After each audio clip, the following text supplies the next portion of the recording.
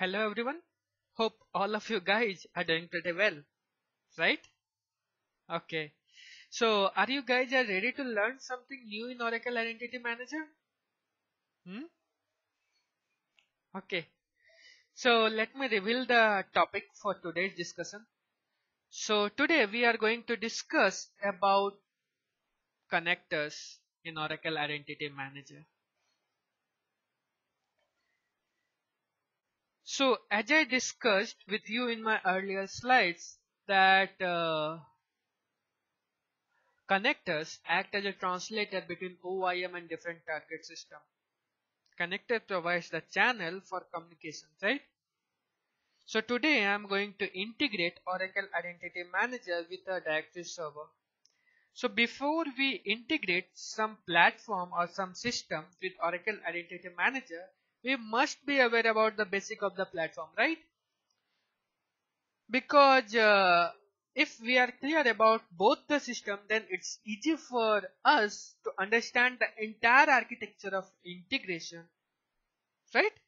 In addition to this it also gives us a flexibility or it's there is a knowledge base which is behind you. Let's say if you stuck in some during uh, during the integration you stuck at some point.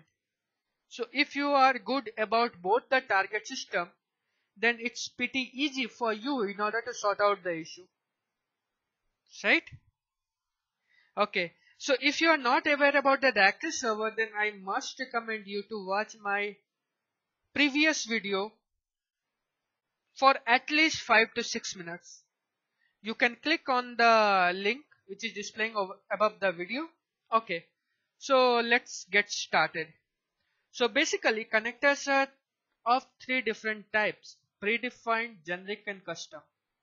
So today we are going to install or we are going to configure a predefined connector.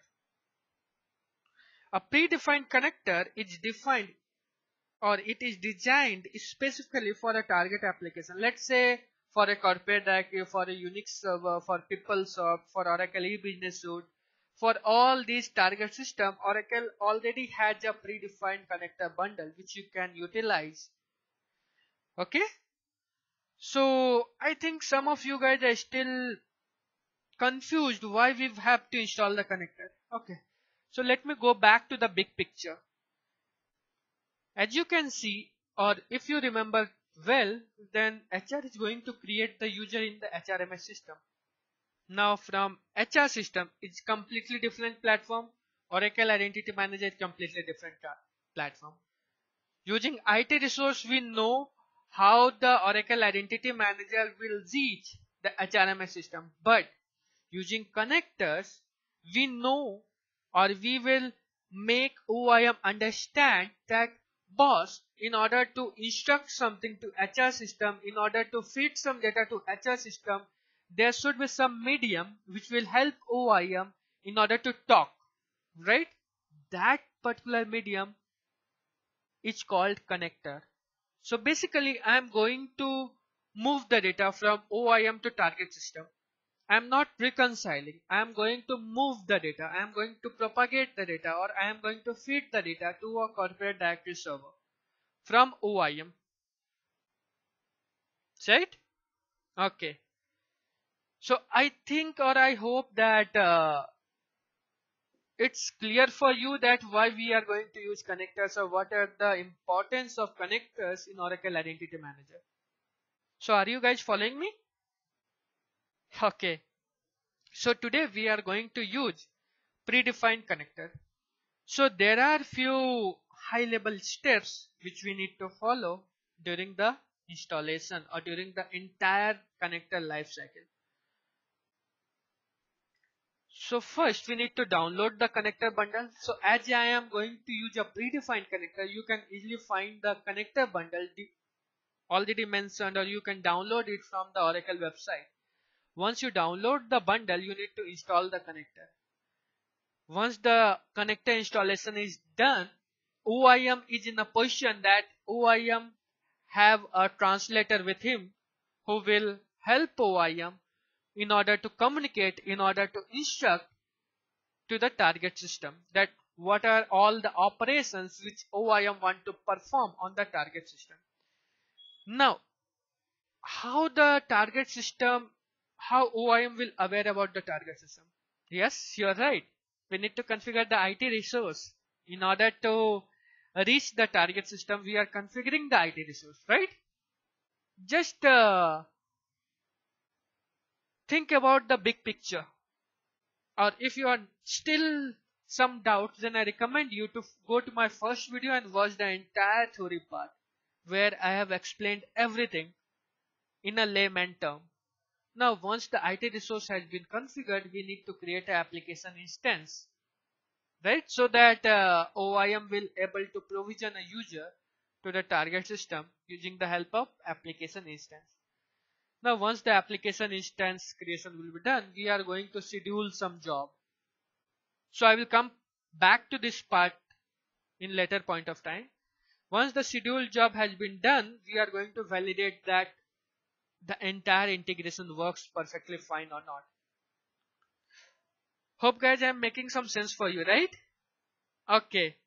So let's start the practical or let's continue with the practical that how we are going to perform all these steps.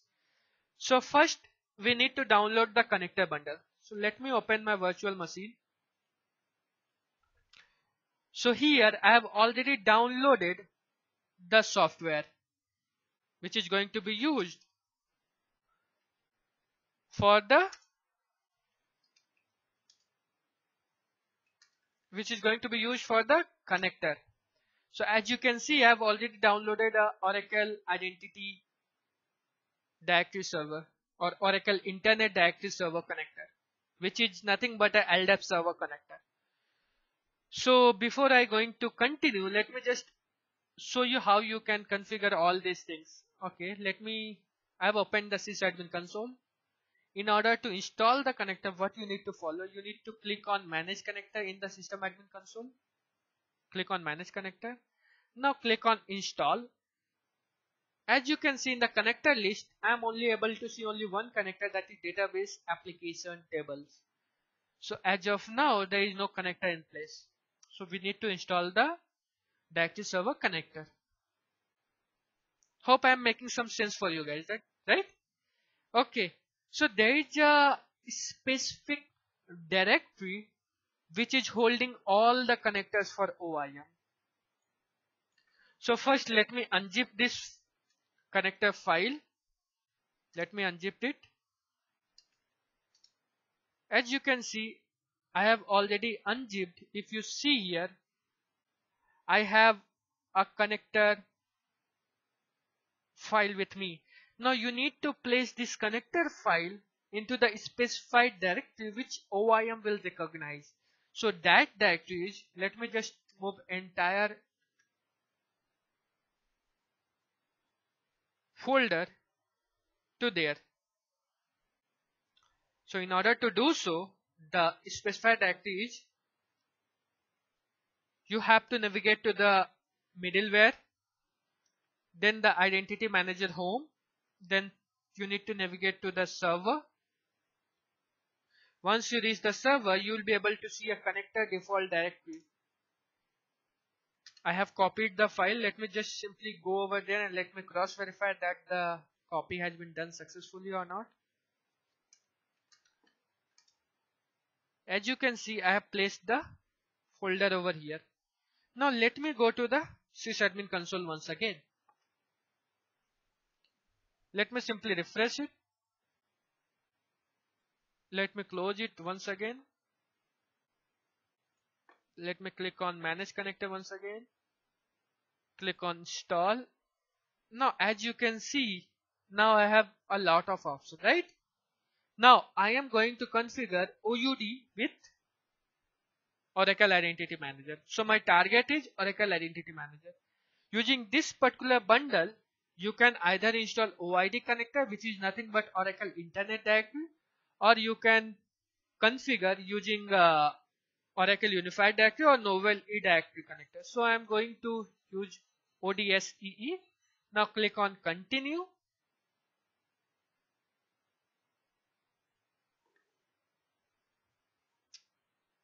Click on first you need to click on load. As you can see there is no prior installation and we are going to install this particular connector for OIM now click on next or continue. Now the installation is in progress. Okay. Hope guys i'm making some sense for you right so here we are going to install the predefined connector which is going to help OIM in order to communicate with directory servers. Okay?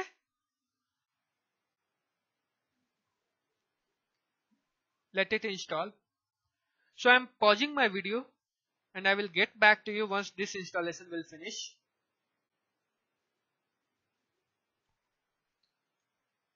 okay so as you can see here that the connector installation has been successful. Now it is asking us to follow some steps. The steps are like uh, the system or the OIM is saying that please configure the IT resource and then please configure the schedule jobs and all these things right? So i'm not going to do nothing right now. Just simply click on exit. Click on exit okay. Now we need to check whether the installation is successful or not.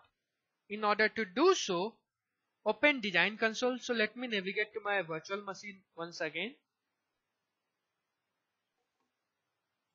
Open the design console.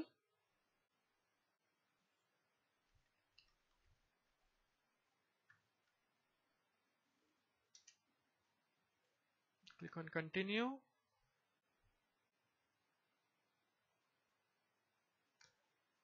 I want to keep the old password.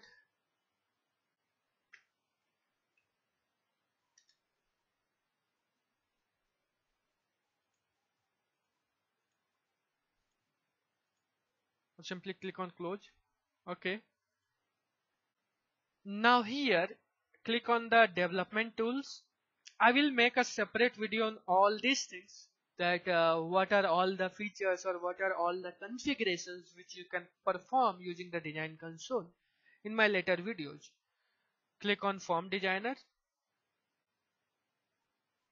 Search for LDAP